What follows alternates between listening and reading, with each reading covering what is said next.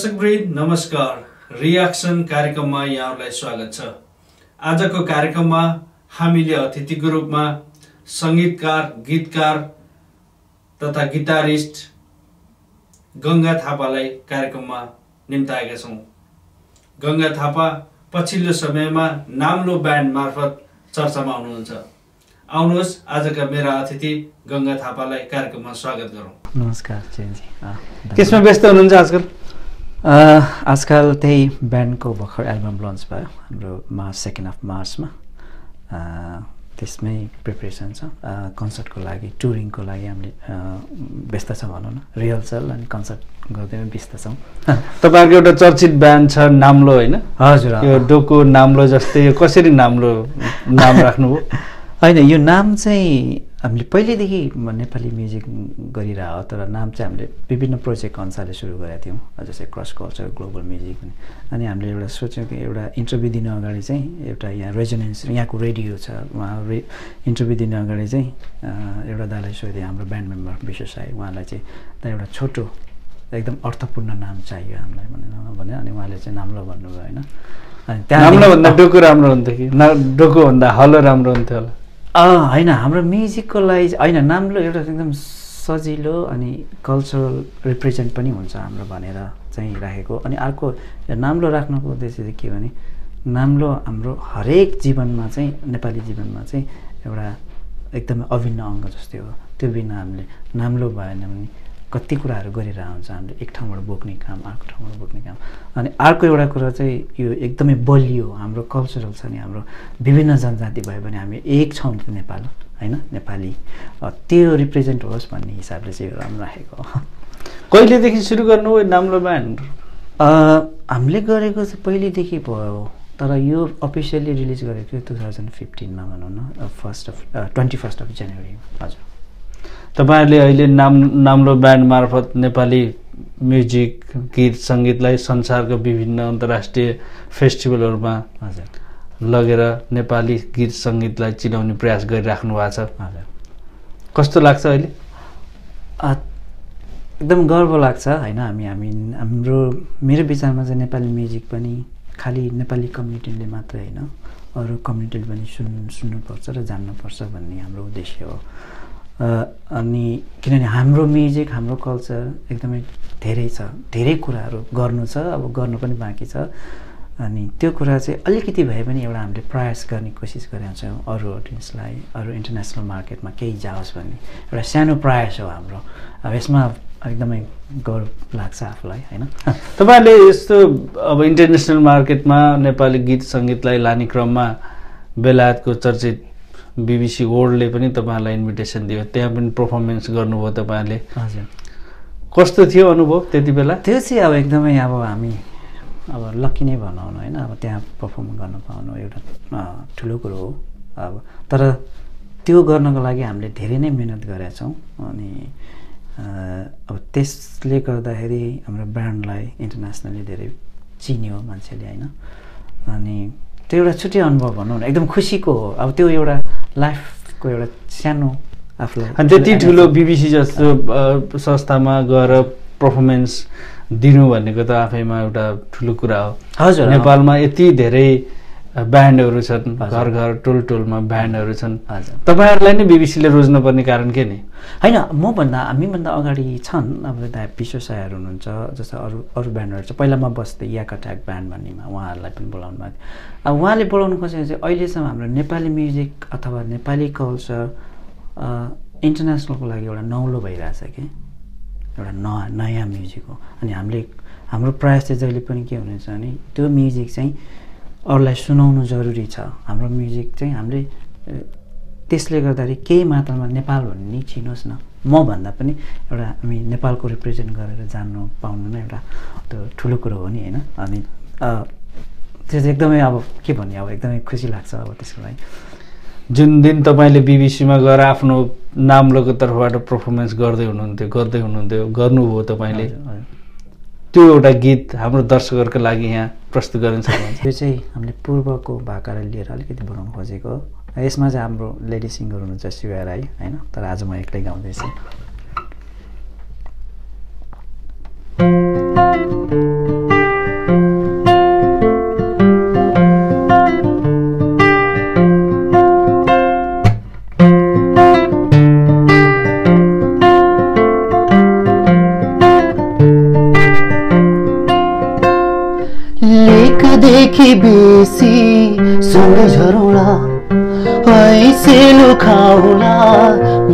लाउला लेखदेखि बेसी सँगै झरौँला ऐसेलो खाउला माया लाउला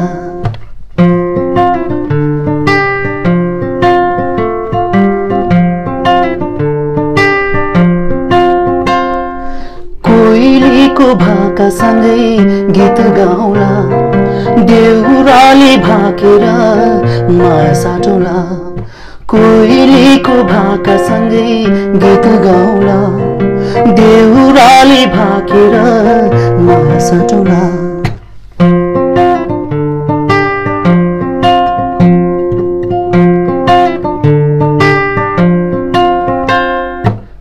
जिन्दगी हो घाम पानी हाँसिरहेको न सम्झना मायाको साँचिरहेको हाँसिरहेको न सम्झना मायाको साँचिरहेको न जिन्दगी हो घाम पानी हाँसिरहेको न सम्झना मायाको साँचिरहेको न हा हा हा।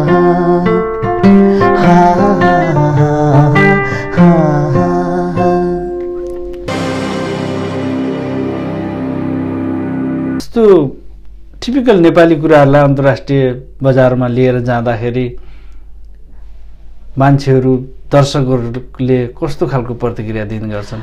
उहाँहरूले पहिला सुरु त कति प्रश्न चाहिँ कहाँ आउँछ भने ए नेपाली म्युजिक हामीले ए कहिल्यै सुनेको छैन है?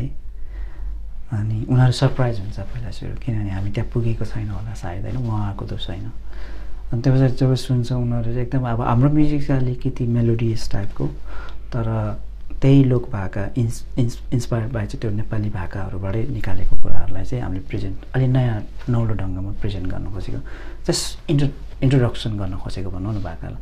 र उहाँले सुन्दाखेरि एकदम राम्रो छ नयाँ लाग्यो नयाँ साउन्ड छ अनि एकदम ब्युटिफुल छ भन्छ उनीहरूले होइन? त्यो भन्दा चाहिँ एकदम खुसी लाग्छ। तपाईँ कुन उद्देश्यले बेलायत आउनुभएको थियो? म पढ्न चाहिँ म्युजिकै पढ्न आएको यहाँ चाहिँ पहिला काठमाडौँ युनिभर्सिटीमा एथनो म्युजिकोलोजी पढेको थिएँ। अनि त्यहाँबाट चाहिँ हाम्रो त्यो क्रेडिट एक्सचेन्ज गर्न मिल्छ यहाँ सोहासमा school of oriental studies school of oriental and African studies भन्नेमा युनिभर्सिटी अफ लन्डनमा। अनि त्यसकै म्युजिकै सिलसिलामा लन्डन आएको हो। हजुर। नेपालमा जति म्युजिसियनहरू छन् जति यो गीत सङ्गीतमा लागेका स्रष्टाहरू हुनुहुन्छ उहाँहरूले यसैलाई यस व्यवसायलाई एउटा म्युजिकलाई नै व्यवसाय बनाएर सर्भाइभ हुन सकिन्न। भन्ने गुनासोहरू सुन्न सकिन्छ। नेपालमा कयौँ कलाकारहरू। विस्थापित भएको अवस्था छ। कस्तो देख्नुहुन्छ नेपाली म्युजिकको भविष्य? होइन नेपाली म्युजिकको भविष्य एकदम राम्रो छ जस्तो लाग्छ। किनभने यसमा एउटा रुम छ एउटा धेरै इम्प्रुभमेन्ट गर्न पाइन्छ क्या। अनि नयाँ इन्टरनेसनलको लागि नौलो पनि भइरहेको छ हाम्रो नेपाल नेपाली कल्चर नेपाली फुड होइन? यहाँ तपाईँले देख्नु भएको छ होला त्यो धेरै कुराहरू एक प्रकारले अपर्च्युनिटी पनि छ के नेपाली म्युजिकलाई चाहिँ अलिकति नेपालमा बजार कमी भएको हो कि? तपाईँ जस्तै इन्टरनेसनल रूपमा चाहिँ जान नसकेको कारणले गर्दाखेरि व्यावसायिक रूपमा पनि सफल हुन नसकेका हो कि? तपाईँलाई कस्तो लाग्छ? मेरो विचारमा चाहिँ हामी आर्टिस्टमै अवेर हुनुपर्छ म्युजिक है। मैले म्युजिक बजाउने म अरूको लागि भन्दा पनि आर्ट म आफैलाई ड्राइभ गर्ने गरी म म्युजिक बजाउँछु मेरो लागि पहिला होइन? यसले मलाई इन्सपायर गर्छ कि केही गरौँ भन्ने होइन? त्यो मेरो पहिलो प्राथमिक हुन्छ कि अर्को प्रमोसन भन्दा। अनि हामी आर्टिस्टमै नेपाली म्युजिक इन्डस्ट्री कहाँ गइरहेछ त्यो चाहिँ हामीले विचार गर्नुपर्छ जस्तो। किनभने आर्टिस्टको किनभने पर्फर्मेन्स गर्ने मात्रै होइन गाउने मात्रै होइन कि कलालाई भनेको। त्यसलाई त्यो उसको एप्रिसिएसन म्युजिक एप्रिसिएसन अनि त्यो पछाडि अन्डरस्ट्यान्डिङ अफ आर्ट्स के? त्यो चाहिँ त्यो चाहिँ जरुरी हुन्छ। स्पेसली दर्शकहरूले त राम्रो म्युजिकलाई सुनिदिन्छ नराम्रो म्युजिक दर्शकहरूको त आफ्नो चोइस हुन्छ पर्सनल तर हामी आर्टिस्ट भएपछि एउटा कुरा केही कुराहरू चाहिँ हामीले आफैले पनि विचार गर्नुपर्छ अनि कपिराइट्सको कुराहरू इन्टरनेसनली मार्केट कसरी लाने अनि म्युजिक साँच्चैकै राम्रो पक्षमा गइरहेको चाहिँ छैन भनेर आफू आर्टिस्टले पनि धेरै विचार गर्नुपर्छ जस्तो लाग्छ। तपाईँहरूले भर्खर मात्रै यो नाम्लो ब्यान्डले एउटा एल्बम निकालेको छ। हजुर। त्यसको भर्खर विमोचन भयो। हजुर दर्शकहरू कस्तो प्रतिक्रिया आएको छ? जतिले सुन्नुभएको छ उहाँहरूको एकदम राम्रो प्रतिक्रिया छ। किनभने हामीले धेरै मिहिनेत गरेको छ यसमा। र हामीले गर्न खोजेको उद्देश्य कतिले नबुझ्न पनि सक्छ होला। किनभने हामीले धेरै नौलो गर्न खोजेको पनि होइन।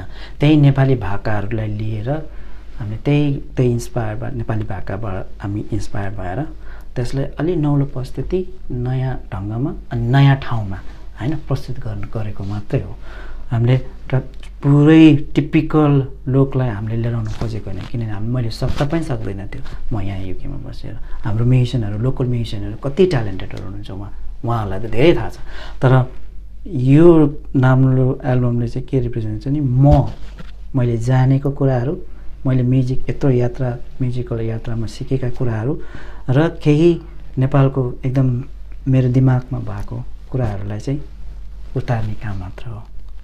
त्यो चाहिँ तपाईँहरू घर घर बसेर उतार्दै हुनुहुन्छ अहिले होइन? घर घर बसेर होइन धेरै रिसर्च गऱ्यौँ। अब स्टडी होइन हामीले मेरो म्युजिकै स्टडी भएको कारणले अब त्यसको लागि घर घर उतार्नुभन्दा पनि हामी धेरै नै स्टडी गर्छौँ हामी धेरै नै रिसर्च गर्छौँ म्युजिकमा। अनि त्यो पछाडि हामी धेरै रिहर्सल गर्छौँ होइन? अनि कसरी साउन्डलाई चाहिँ अरूभन्दा फरक बनाउन सकिन्छ। तपाईँले सुन्नुहुन्छ होला हाम्रो म्युजिक कत्रो राम्रो राम्रो छ भोकलहरू तर हाम्रो त म्युजिक एरेन्जमेन्ट स्पेसली यो एल्बममा त के पाउनुहुन्छ भने एरेन्जमेन्ट चाहिँ हामीले डिफ्रेन्ट गरेका छौँ। मेरो विचारमा चाहिँ जति चाहिने हो म्युजिक एरेन्जमेन्टमा त्यति राख्नु पऱ्यो क्या जबरजस्ती घुसाउनु भएन भन्ने खालको मेरो उद्देश्य हो।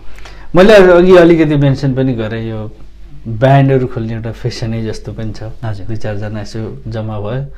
अलिअलि कभर गीत सित गाए। ब्यान्ड खोल्ने टिम बनाउने। अब त्यस्तो खालको एउटा प्रचलन पनि छ। हजुर। अब त्यो बाहेक अब तपाईँहरूको पनि एउटा भर्खर मात्र एल्बम पनि आएको छ। व्यावसायिक रूपमा यसको भविष्य कस्तो देख्नु भएको छ? लङ टर्मसम्म सस्टेन हुने आधारहरू के हुन्? हजुर लङ टर्मसम्म अब व्यवसाय एउटा दुइटा फ्याक्टर हुन्छ। एउटा चाहिँ आर्ट्स हुन्छ एउटा चाहिँ कमर्सियल हुन्छ होइन?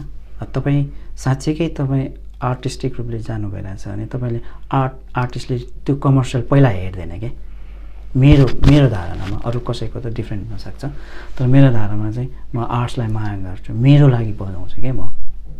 अरू कसैको लागि भन्दा पनि मलाई नै ड्राइभ गर्ने गरी मलाई नै मोटिभेसनल हुने म बजाउँछु। त्यो कमर्सियल भनेको त्यो आफसेप आउँछ।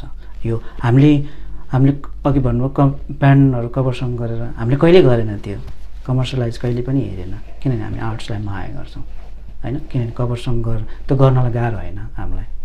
तुरुन्तै सकिन्छ हामी जो जो ब्यान्ड ब्यान्ड मेम्बर हुनुहुन्छ उहाँहरू एकदम म्युजिकलाई माया गर्नुहुन्छ उहाँहरू एकदम ट्यालेन्टेड हुनुहुन्छ होइन? उहाँहरू आफआफ्नो प्रोजेक्ट गर्नुहुन्छ। अनि त्यो हामी एक अर्कासँग चाहिँ म भन्दा पनि हामी टिम भएर हिँड्छौँ क्या हामी। मैले यहाँ सिकेको कुरा चाहिँ त्यो त्यो चाहिँ उतार्ने कोसिस हो हरेक मान्छेसँग छुट्टा छुट्टै आर्ट हुन्छ त्यसलाई चाहिँ उतार्नु पऱ्यो कमर्सियल चाहिँ त्यही तपाईँले भन्नु कमर्सियल भनेको अर्को पछि हो। एउटा होइन मैले अघि भन्न खोजेको चाहिँ अब यो ब्यान्ड जुन छ नाम्लो ब्यान्ड भोलि बिहान भविष्यमा कहीँ पलायन भएर अब जाने पो हो कि? होइन। यस्तो ब्यान्डहरू थुप्रै हराएको अवस्था छ। ए हजुर हामीले यो तपाईँको सिन्स म यहाँ चार लगभग मैले छ सात वर्ष भयो म म्युजिकमै एकदमै यो त्यसै फर्म भएको छैन। हामी गर्छु भनेर फर्म भएको होइन। यो मैले धेरै एक्सपेरिमेन्ट गरेर धेरै म्युजिसियनहरूसँग कोलाबोरेसन गरेर। नेपाली म्युजिकको इन नेपाली म्युजिक चाहिँ केही हुनपर्छ है।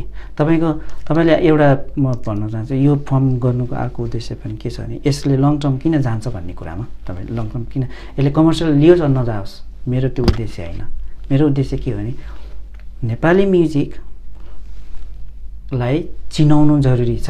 पछि अन्तर्राष्ट्रिय बजारमा। अन्तर्राष्ट्रिय बजारमा अथवा नेपाली म्युजिक नेपाली यङ जेनेरेसनलाई। अहिले अहिले यङ जेनेरेसन त्यसै पनि हामी अरूबाट इन्फ्लुएन्स भइरहेको छौँ होइन? तर उनीहरूलाई स्ट्राइक गराउने केले त?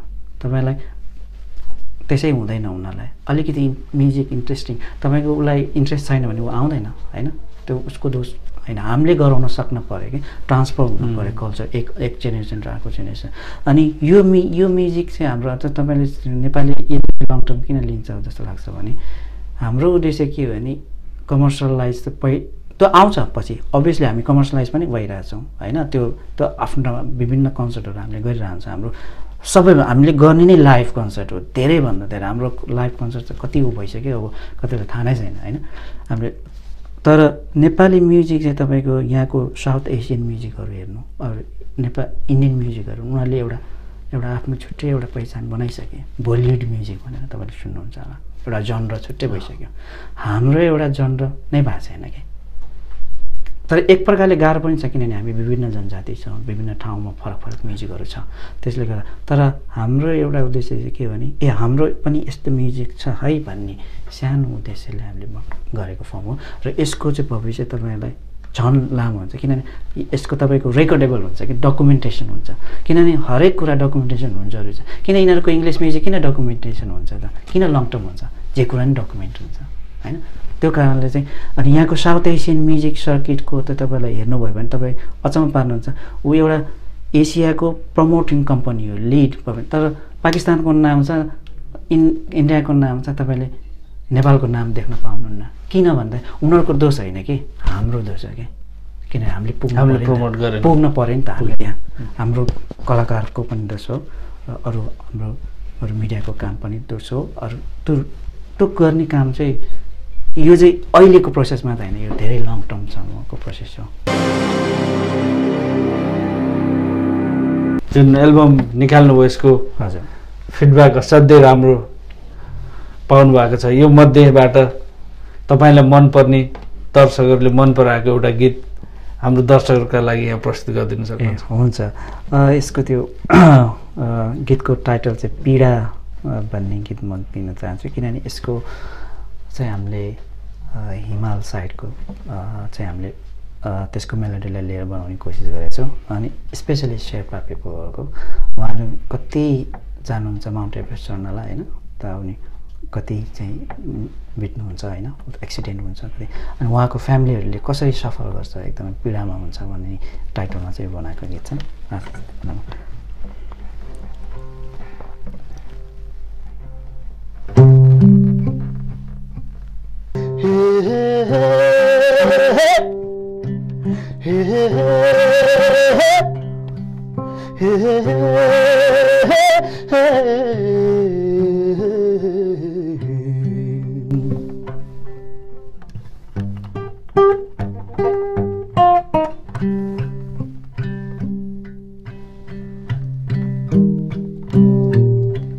धन कमाउने आशैमा धन कमाउने आशैमा धन कमाउने आशैमा दैलोमा रसायो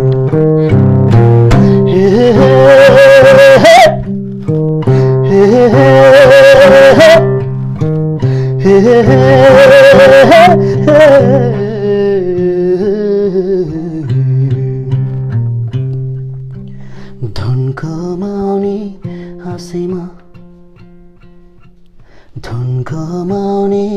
आशैमा दैलोमा लासायो तपाईँ म्युजिकमै जिन्दगी बिताएको अवस्था छ भन्नुभयो। युगै भए पनि युगै भए पनि तपाईँ जति बिताउनु भयो। कलेजमा त्यही पढ्नुभयो नेपालमा त्यही गर्नुभयो। अहिले अवश्यमा लागिराख्नु भएको छ। कोसिस गर्दैछु पछिल्लो समयमा जुन नयाँ जेनेरेसन छ। जो विदेशमै हुर्क्यो विदेशमै पढ्यो जो नेपाली कम्युनिटीमा छ उनीहरू बढी इङ्ग्लिस गीतहरू गाउने वेस्टर्नतिर बढी ढल्किएको त्यस्तो अवस्था देखिन्छ। उनीहरूलाई यो नेपाली म्युजिक नेपाली गीत सिकाउन उनीहरूलाई नेपालप्रतिको माया विश्व जुन छ त्यो प्रति आकर्षण गर्नको लागि के गर्दा ठिक हुन्छ जस्तो लाग्छ तपाईँलाई? अनि त्यसमा धेरै कुराहरू इम्प्रुभमेन्ट गर्नुपर्ने जस्तो लाग्छ। सर्वप्रथम चाहिँ कसो भने हामी उनीहरूले इङ्ग्लिस गीत किन गाउँ? त्यो पत्ता लगाउनु पऱ्यो। किनभने उनीहरूलाई जे राम्रो लाग्छ उनीहरूले गर्ने हो नि। यसमा पर्सनल चोइसको कुरा पनि आउँछ होइन उनीहरूले तर हामीले चाहिँ एउटा उनीहरूलाई दिन सक्नु पऱ्यो केही नलेज के होइन? कसरी हुन्छ उनीहरूलाई? स्ट्राइक गर्नु नसकेको हो कि हामीले नै? हाम्रो दोष आउँछ क्या त्यो? अरू अथवा हामी अब यङ जेनेरेसनलाई म, बाबाआमाले नै हो कि? किनभने म पहिला नेपालमा बस्दाखेरि म पनि अरू म्युजिक गर्थेँ जस्तो रक म्युजिक गर्थेँ उ गर्थेँ होइन? म जब ने यहाँ आएँ त्यो चाहिँ मलाई एकदम मिस भयो होइन त्यो कुराहरू?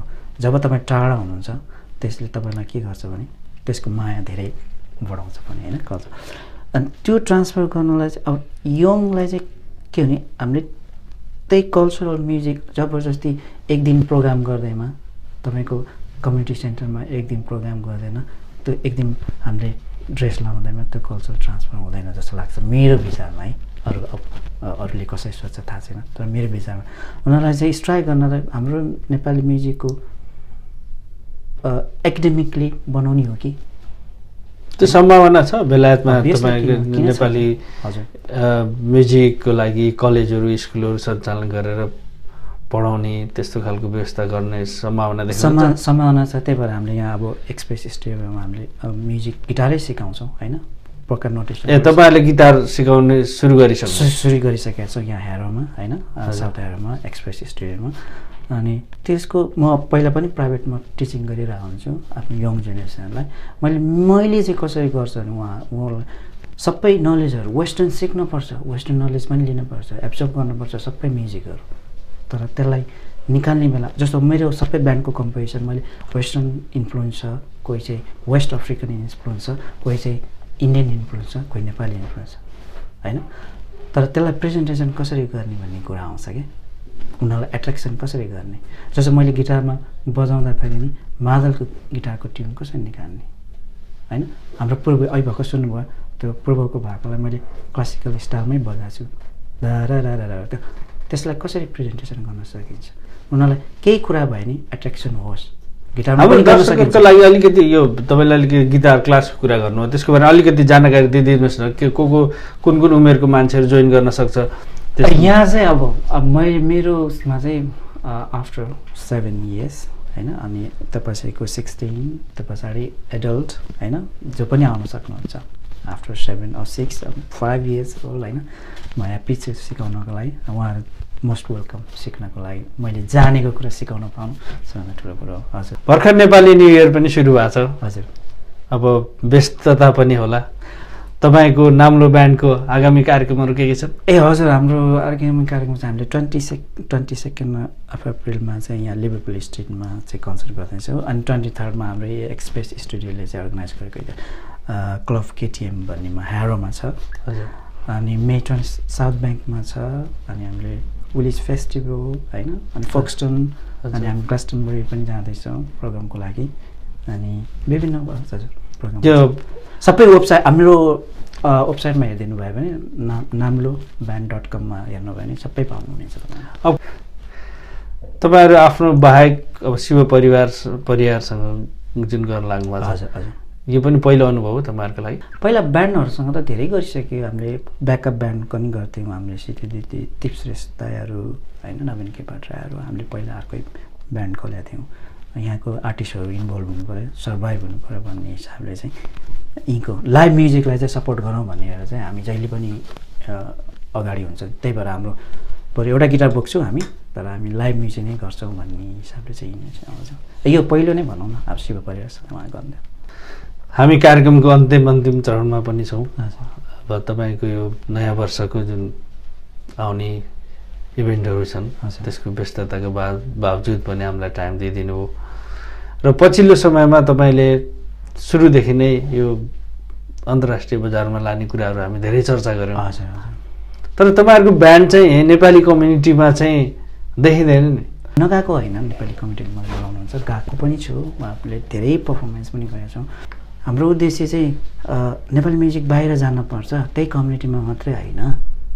किन त्यो कम्युनिटीले मात्रै बजार हाम्रो रमाइलो गर्ने त ठिक छ नेपाली हाम्रो सब हाम्रो हाम्रो सबैभन्दा राम्रो पछिको हामी नेपाली भएपछि एकदम सपोर्ट गर्छौँ होइन? त्यो त एकदम सप सपोर्टिभ अडियन्सहरू हुन्छ। तर हाम्रो म्युजिक चाहिँ खालि नेपाली अडियन्सलाई मात्र नभइकन बाहिर जानुपर्छ हाम्रो म्युजिक एउटा ट्याग गर्नुपर्छ अरूलाई पनि। तपाईँको एउटा सिम्पल एक्जाम दिएँ बिबिसीको अडियो एक्जाम्पलमा बिस वर्ष अगाडिको कसैले रेकर्ड गरेको अर्काइभ छ साउन्ड अर्काइभ होइन? त्यो मैले सुन्दा तिर्न पर्ने हुन्छ कि? अरूले गरेको हो यहाँको रिसर्चरले भनेको के त अब? हामी पुगेनौँ नि त। हाम्रो म्युजिक हामीले सुन्दाखेरि त्यो डाउनलोड गर्दाखेरि तिर्नुपर्ने हुन्छ। त्यो अरूको नहोस्। मैले जान्न खोजेको चाहिँ तपाईँहरू अब नेपाली समक्ष नेपाली समुदायमै पुग्नु भएको छैन। कसरी अन्तर्राष्ट्रिय स्तरमा पुग्नु होला भन्ने मात्रै हो। होइन। हामी पुगेका छौँ। तपाईँले थाहा नपाउनु भयो होला। हामी धेरै ठाउँमा पुगेका छौँ। अरूलाई धेरै ठाउँमा पनि गएका छौँ। हामीले धेरै पर्फर्मेन्स पनि गरेका छौँ। तर मैले जहाँ जहाँ गरेँ मेरो एक्सपिरियन्सले के लाग्यो भने त्यो मेरो मेरो म्युजिक चाहिँ त्यहाँ सुटेबल हुँदैन कि? भन्ने हिसाबले चाहिँ मैले त्यो नगरेको कार्यक्रम बिट मार्नुभन्दा पहिला जाँदा जाँदै तपाईँ आफैलाई मनपर्ने। तपाईँको आफ्नो चोइसको गीत तपाईँ आफूले गाएको अथवा ब्यान्ड मेम्बरले गाएको अथवा अरू कुनै गायकले गाएको गीत हाम्रो दर्शकहरूको लागि। धेरै वर्ष भयो हामी ने म नेपाल नगएको अनि त्यो एउटा फ्यामिली मेम्बर त्यो गाउँठाउँ मिक्स भएको मिस एकदम मिस हुन्छ। त्यसको मेमोरीमा चाहिँ यो बनाएको गीत छ रोधी घर भनेर।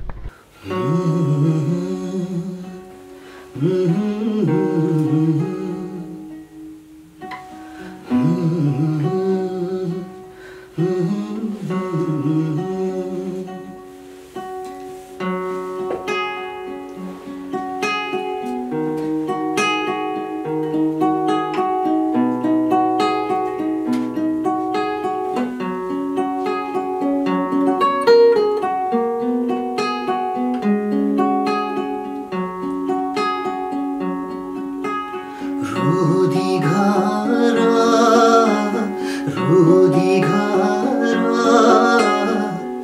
सम्झना मनको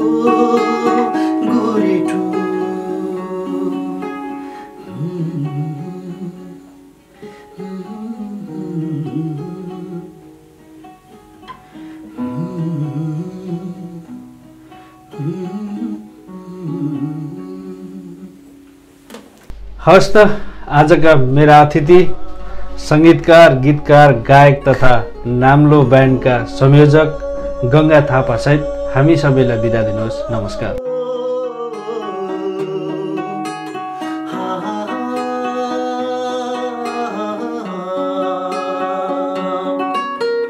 सम्झना